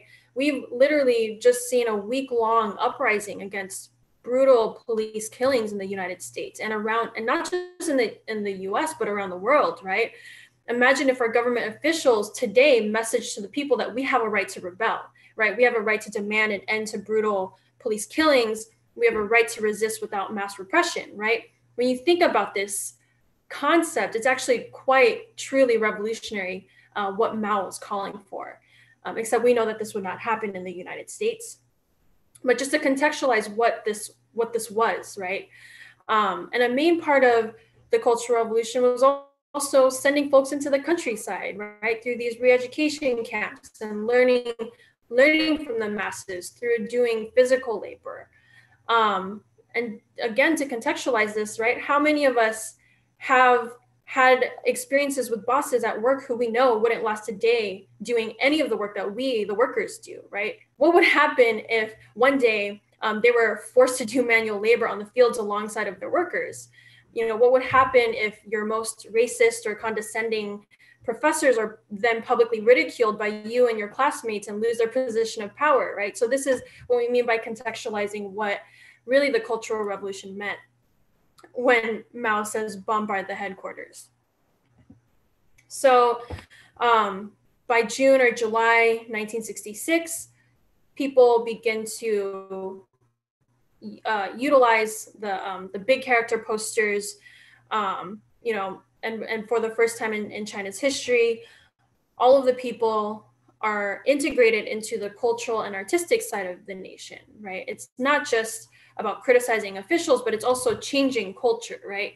Um, in in um, historically, culture and artistic life in China was really reserved for a tiny elite. So now during the Cultural Revolution, right, culture was the means by which the emphasis of collective creativity, cooper- cooperation, and criticism were, uh, really emerged. So um, we'll move into the next slide, please. Okay, so here we have the Red Guards, and I think people, you know, when they think about the Cultural Revolution, they've heard of the Red Guards, but the Red Guards were the students who were formed uh, by Mao or urged by Mao to make revolution, right? We're dealing with a generation of revolutionary successors, uh, people who will, who will inevitably inherit China. Um, you know, there were many different Red Guard groups uh, that engaged in a lot of revolutionary struggle. But the purpose of the Red Guards was really um, a way to keep the revolution dynamic. And again, a lot of the mainstream likes to characterize um, the Cultural Revolution and the Red Guards as overzealous young uh, people attacking and persecuting intellectuals. But really, the idea behind the Red Guards was addressing a new generation of students who were born after 1949, after the revolution, and you know really how do we radicalize a generation of youth to continue the revolutionary process? Mao urges these students to learn from the revolutionary tradition. You know at this time there was free travel around china. Uh, people were able to take the trains for free and to learn from the masses in the countryside. So the red guards were in a way an experiment an experiment to see how the masses engage with the party and vice versa um, the Red Guards really um, engaged in this campaign that's called the Four Olds campaign, right? Um, the you know uh, the old customs, ideas, habit, culture, which really was calling for a radical transformation of society from traditions of the old class society, um, everything from art, culture, education, factories, family structure. These were all elements that needed to be challenged and democratized. And so the Cultural Revolution by way of the Red Guards and, and, and the people who are part of this mass movement meant boldly denouncing elements of class society, such as patriarchy, right? Um, things like um, calling for educating the masses of people, where most of China was still illiterate. I mean, there, there were tons of gains made in the first decade, but there's still a lot of work to be done, right? It also meant reorganizing schools where peasants and workers uh, were able to send their children to college, which still um, at the time, um, colleges were kind of reserved for a, a, a um, you know a small privileged class of people. And so, for the first time now, peasants and villagers um, and workers, their children could go to college. Um, you know, peasants also had a say in how education was going to be carried out in their own villages, right? Workers had a say in the decision making of their factories. These were truly revolutionary policies that would transform society in a in a radical way. And this isn't something, you know, just to just to kind of emphasize, right? We we're now in the third class of the series, and this has come up time and time again. But this is these ideas are not things that pop up out of nowhere, right? These ideas of um, overturning the old society ha- um, criticizing the old society. This was a part of a long trajectory of the modern revolutionary movement in China. Since you know the end of the 1800s, the think about the reform uh, movements that ultimately led to the overthrow of the Qing dynasty, um, the May 4th movement, the New Culture movement. These were all anti-colonial movements that also um, brought into question um, dismantling right? Uh, Confucianism, dismantling patriarchy, all these things. So it's just a continuation of, of just this like um, decades long struggle to, to make revolutionary change. So we'll go into the next slide. So um, we'll talk about the Shanghai Commune and basically um, this is where in, in Shanghai, workers joined the Cultural Revolution, right? Which had, at the time, had been mostly um, uh, led by students. So these workers in Shanghai were mainly factory workers, uh, workers that worked in the shipyards, railway, who were members of two large mass organizations, and they really wanted to engage with the leadership in Beijing at the time.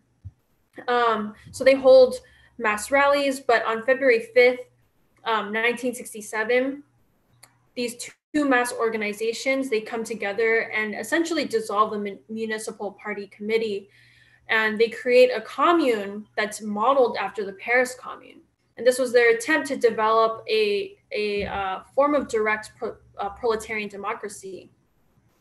It didn't necessarily explicitly eliminate or exclude the party, but it definitely transcends the role of the party.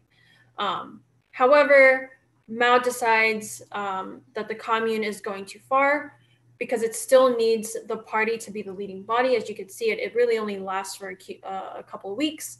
Um, the way that Mao saw it was that, you know, you can't overthrow the party, even though it wasn't a direct overthrow of the party, the party didn't really have um, any control in, in this commune in, in, a, in a meaningful way. And so um, you know when we think about the cultural revolution it wasn't necessarily to overthrow the party but but to get the party to listen to the masses um, so mao ends up sending yao wenyuan and zhang chunqiao to disband the commune leadership uh, of the commune they ended up accepting this negotiation and came up with a negotiation um, that's called the three in one combination so we'll go into the next slide and we'll describe what what that means so the three in one combination, um, you know, the commune dissolves itself in favor of this uh, revolutionary three in one combination, which basically three in one is party, army, masses um, in one, right? It, it was too, you know, they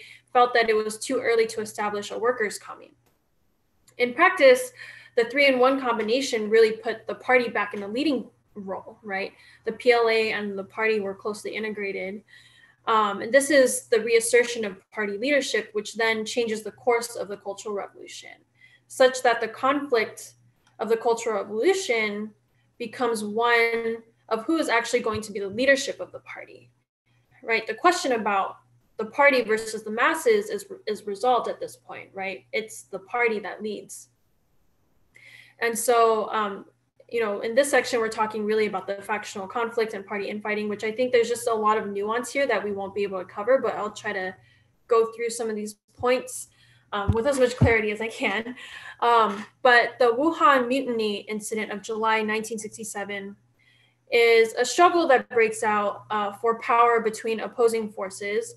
Um, and this was seen as a turning point in the Cultural Revolution, right? There was, there were a lot of uh, potential for factional in, uh, factional conflict within the People's Liberation Army, uh, which could have spilled over into a, a, real civil war. And different factions within the army, you know, emerged. There were um, very tense moments, and the party realized that what they really needed to focus on was to rebuild the unity within the party.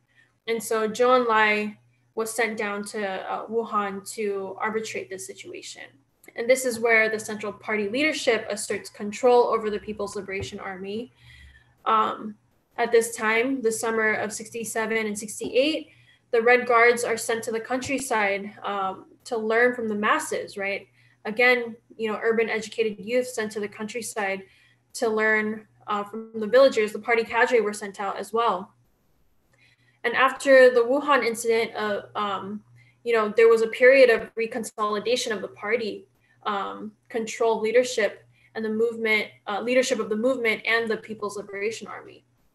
And so the Cultural Revolution here then devolves into a struggle for power within the many factions of the party, right? There were two major points, right? They were dealing with who's going to be the dominant force in the party. And the other point was to try to ensure that the party can reestablish leadership in institutions such as the People's Liberation Army, right? The party really needed to unite the People's Liberation Army and reestablish it as a reliable force. Next slide. So here we have the Ninth Party Congress um, that takes place in April 1969, where Lin Biao is named as Mao's official successor. This is the point where uh, the Cultural Revolution as a political mass movement is over. Um, now, the Cultural Revolution, as stated earlier, is a matter of conflict within the leadership and developmental procedures of China. Next slide. So we've also heard about the Gang of Four. I'm sure people have have you know been um, you know have heard of uh, what the Gang of Four is, but let's talk about a little bit what the Gang of Four was. So the Gang of Four emerged in the wake of the Ninth Party Congress um, and is used to describe the remaining faction of the of Mao's left wing of the party. Um, and this this line of maintaining um, criticism of bureaucracy within the party. However, their major focus of attention uh, was of the cultural arena, right? By developing the cultural superstructure. Um, while they are mainly appealing to the masses, um, they're not necessarily mobilizing the masses. It becomes more ideological. So Jiang Qing, who's the, the wife of Mao, is the driving force of this, right? This here we see an era of revolutionary opera, literature, an era of ideological struggle. Um, you know, and people will see these operas and engage in in, in debates, right? Um, but it's different from organizing the masses, organizing the mass movement. They don't really have a mass base here. They want mass participation, but they don't have the organizational mechanism to, to build that. Um, that doesn't mean that there aren't significant contributions, right? Um, a lot of the revolutionary uh, art that comes out of this, the cultural art that comes out of this, is is is still very much impactful.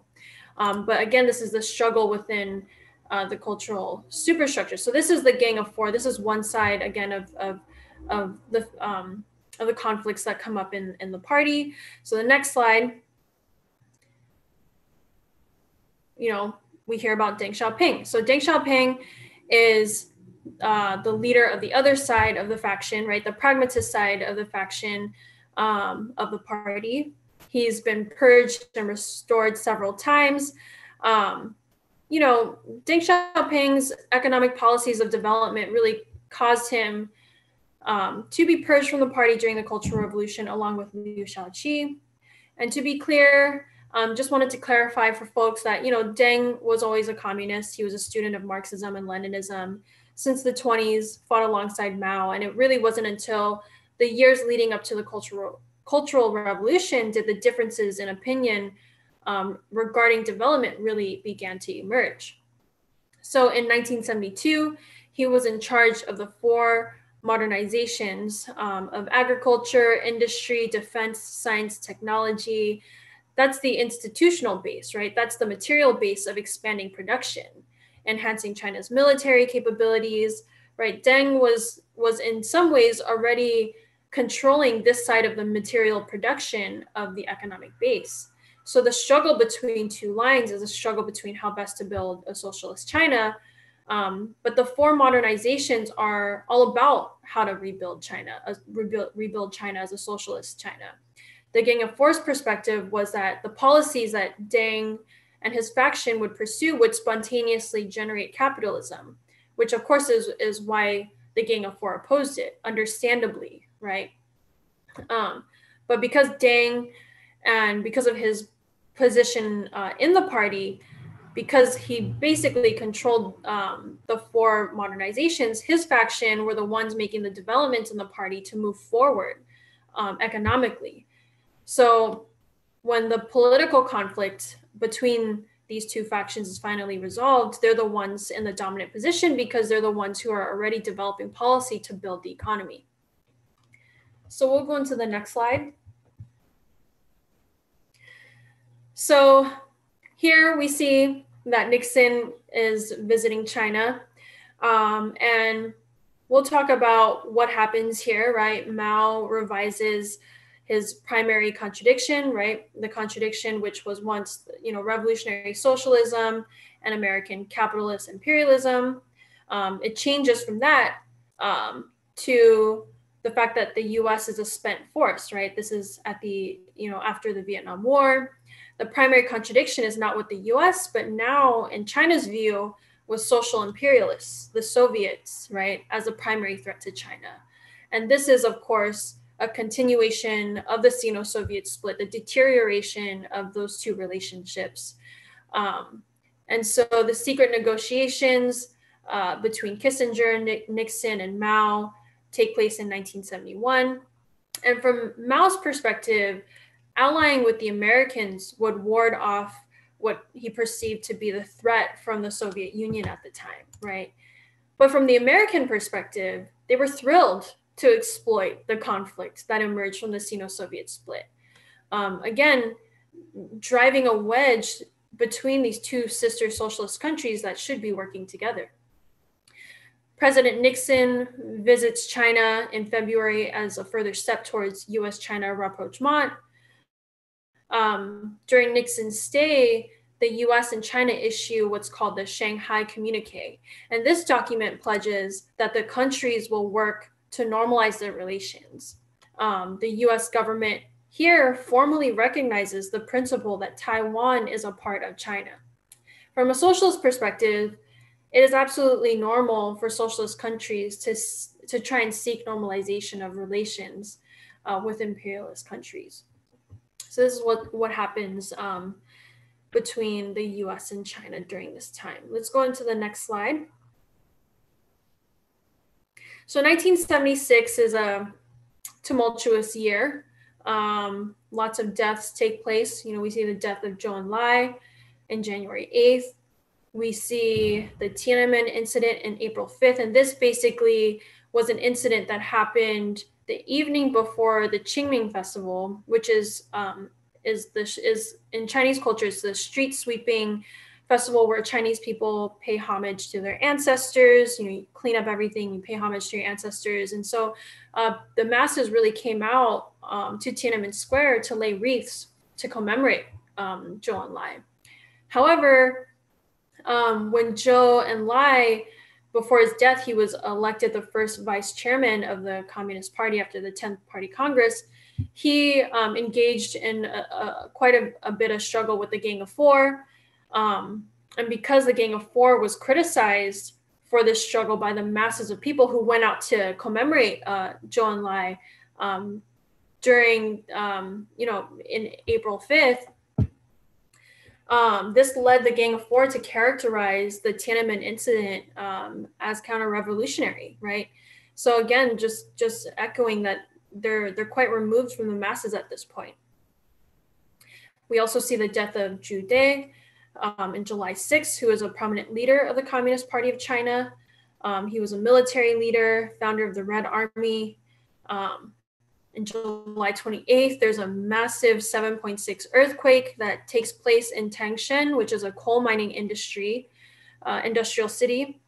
This was a horrible natural disaster that led to the collapse of most buildings. There was a death toll of 200,000 to 700,000 people estimated.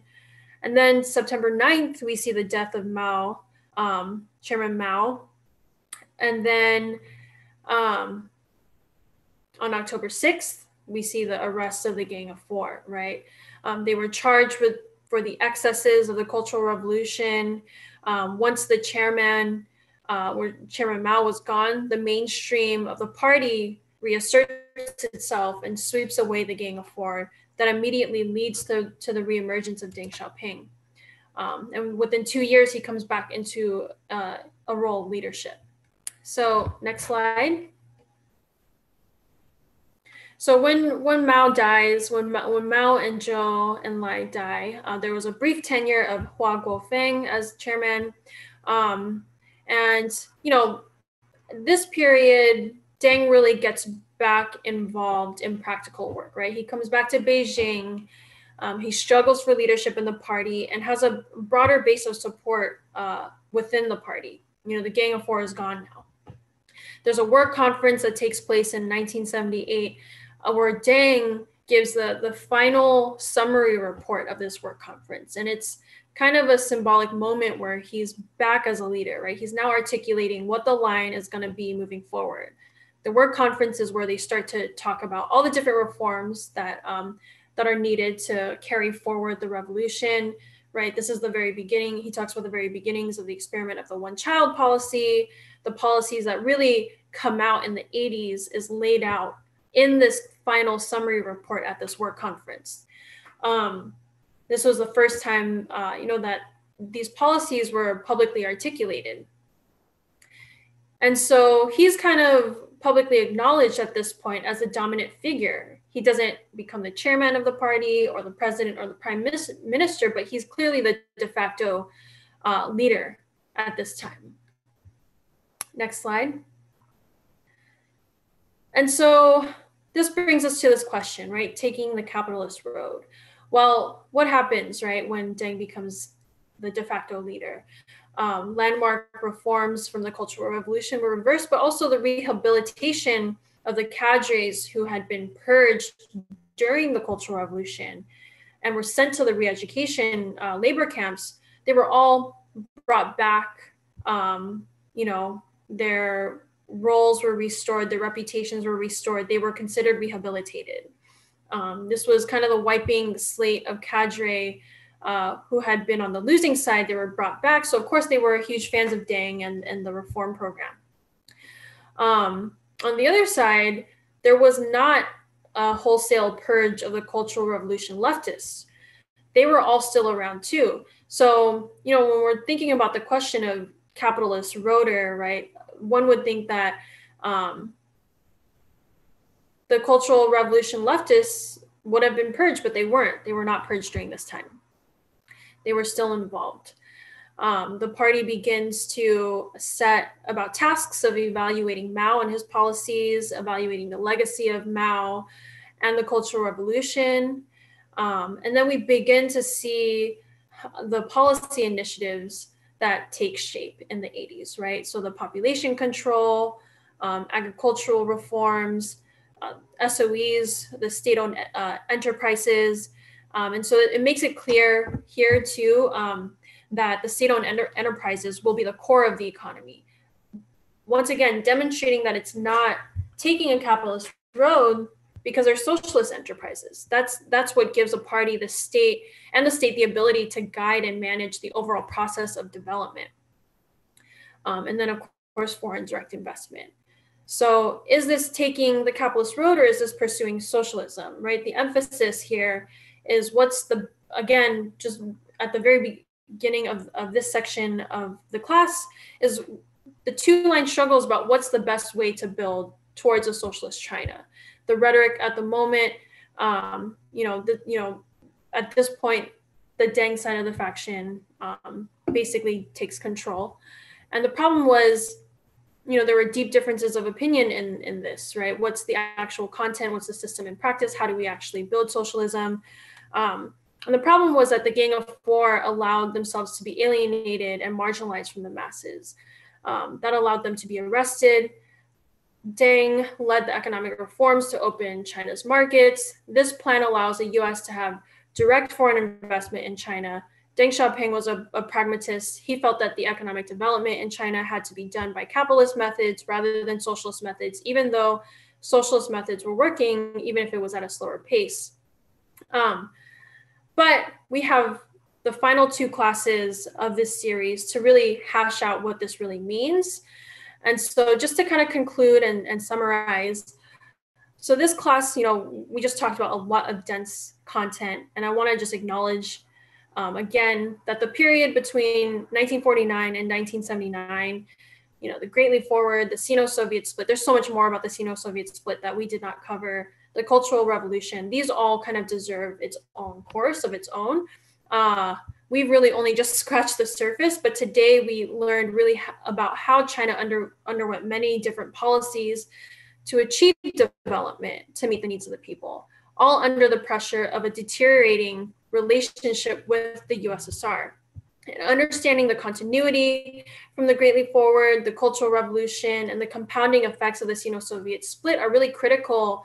Uh, especially because the historical time periods are often mischaracterized and you know are a source of anti-china propaganda so without these major historical moments in china's development we really could not begin to understand what we'll cover for the next class, really addressing this question. The central question is China capitalist? We'll learn about the uh, China socialist market economy and quest towards socialism. Um, and yeah, that's the end of my section. I realize I went way over. I'm so sorry. But if there are any kind of final questions, I'll be happy to take those. And of course, Ken jump in whenever you can.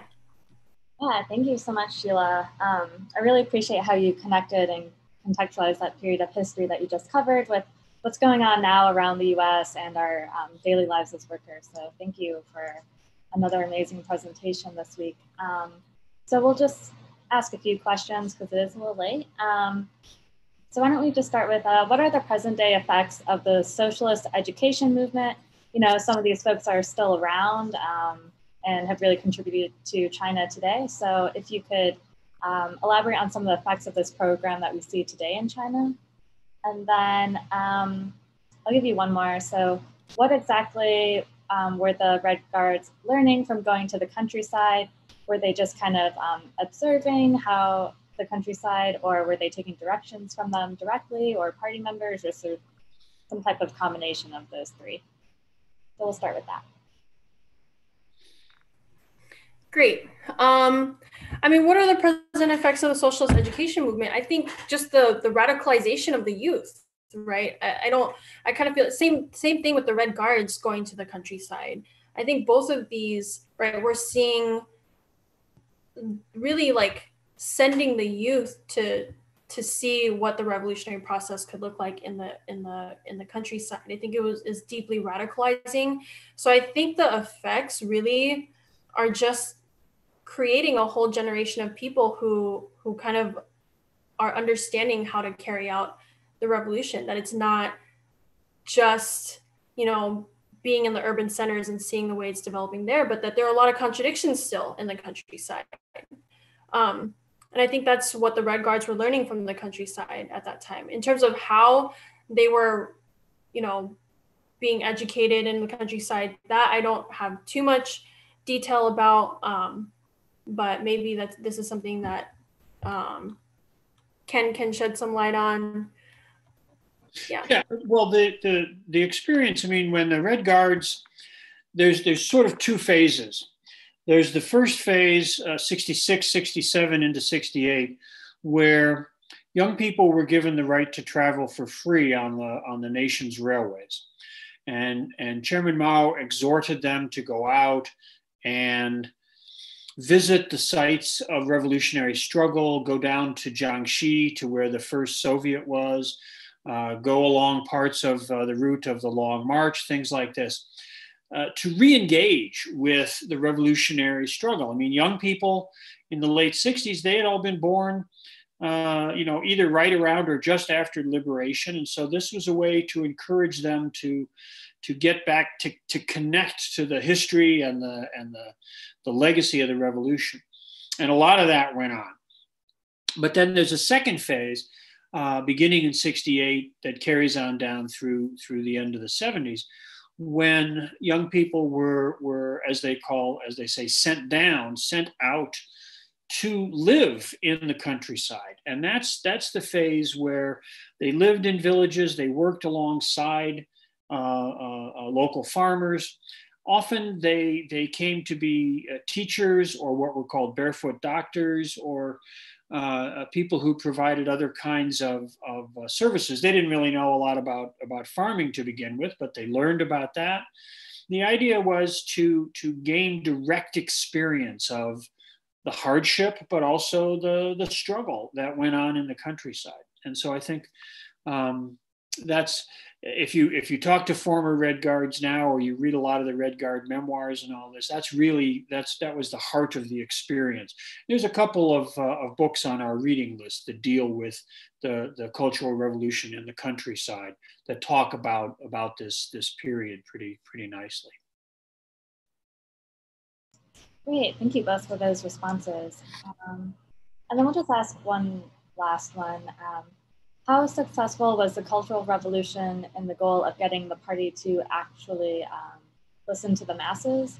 And then just kind of an informal question. I know you covered a lot of information in your presentation and we appreciate how much making such a um, concise presentation with so much history, but if there's anything you want to add or Ken would like to add um, about anything you presented on, go ahead and do that too um, after answering the question.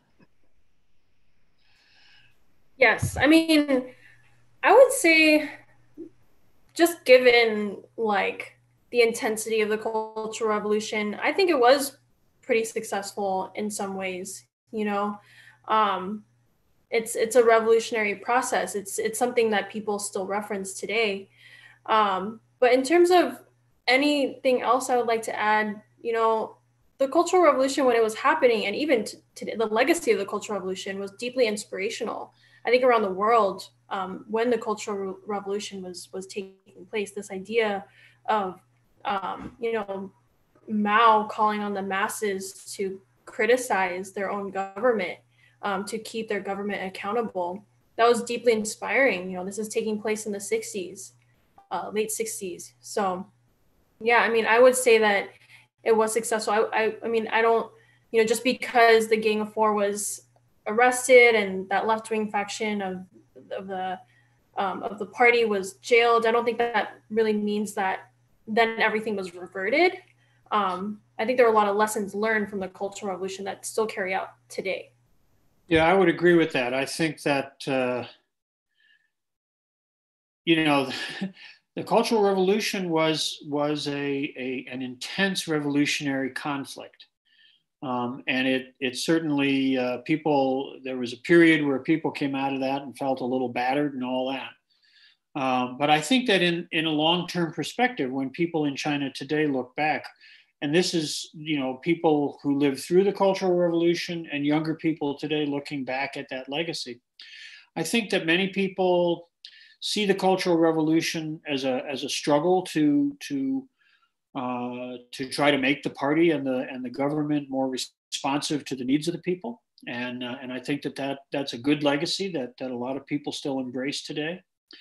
And I also think, you know, in in in ways that uh, I don't know how substantive it is. There's a certain, I suppose you could almost say nostalgia. I know that in in Beijing, uh, I spent a lot of time in Beijing, and, and one of the things that's fun to do there is go down to some of the parks, especially the big park down by the Temple of Heaven, where a lot of a lot of older people, a lot of people from that generation, you know, hang out and gather and all this, and uh, there's a lot of um, of singing that goes on, mm-hmm. and if you listen, they're singing songs from the Cultural Revolution, they're singing songs about solidarity. They're singing songs about working together and helping people and building a new China and a better China. It's um, I think that there's a lot of the legacy of that period. People don't want to live through intense political struggle and factionalism and all that stuff every day. But I think that the, the takeaway from that period is largely uh, largely positive. We hear a lot in Western bourgeois circles that oh the you can't talk about the Cultural Revolution in China, and that's just nonsense. People talk about it all the time. Uh, uh, there's museums about it. It's taught in school. You know, this this this idea that it's it's sort of hidden away and hushed up is just nonsense. But I think that that when people think about it, and as I say, both young people today and, and certainly people who live through it, that that the long term perspective is is pretty positive. Yeah, um, and I, I guess the last thing I'll add too, like just from my own personal experience, you know, my my parents and their generation, um, they grew up during the Cultural Revolution. You know, my all my my mom's entire school age, my parents' entire school age was during the period of, you know, 1966 to 1976. And so, um, for when I talk when I asked my mom about the Cultural Revolution and what that was like for her, um, you know, very limited ability to understand because I, I lack a lot of the political um, language in Chinese. But she was like, you know, we we went to school, and then we went and worked you know, at our, our neighborhood crop. Like that's just the way life was. It was not this like bad punitive thing. It was like this was just a part of normal life in China, right? It's not weird or anything like that. You know, my grandma went to the meetings where they would evaluate party officials, you know, things like that. So um yeah, and and just on the point of the the the art piece, I mean, culture and art and opera is such a big part of um, Chinese society now. You know, my my parents were not a part of the elite. They were my my dad's family. They were peasants, but they you know a part of the way that they socialize with their friends is through like listening to like a lot of like um, what feels like old modern or like old school um, opera that I think came out of that period. I can't say for sure, but it feels that way um, just based off of my research and what I've heard. So, yeah. Great. Well, thank you both for your presentations and um, answering those questions. Um, I know everyone's had a long day of protest and action yesterday, maybe even today, and we learned a lot. So I'll pass the floor to Satya to close us out. Thank you so much again to Ken and Sheila uh, for their excellent presentations and for everyone who asked questions and made comments today. Um, in the discussion. Um, so we hope to uh, we hope that all of you will join us again next Sunday on June 7th. Um, and those that class will be taught by the Qiao Collective, and it will focus on China's socialist market economy and the uh, quest towards socialism. Great, and we have just a few reminders for the upcoming week. Uh, every Thursday, the Party for Socialism and Liberation presents a national forum uh, live streamed on Facebook, Twitter, and YouTube. Tune in this Thursday, June 4th. And then also be sure to follow us on social media at PSL Web and visit liberationnews.org for our take on current events. And remember, thinking about socialism is good, thinking and talking about socialism is better, but building a revolutionary socialist party is best of all. If you're interested in joining the PSL, you can apply online today at pslweb.org backslash join. Thank you all for tuning in. Thank you.